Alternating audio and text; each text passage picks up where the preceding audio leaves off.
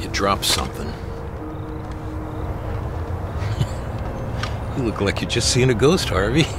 You and me are good friends. We go back a long way. Remember? You uh, really put me into a compromising position here, pal. You realize that? This whole plan was Catalano's idea. He told me it was his money. That's what he told me. You believe that tripe?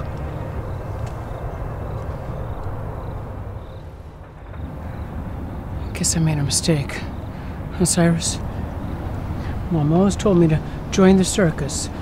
Stay away from the carnival, she always said. Always listen to your mama.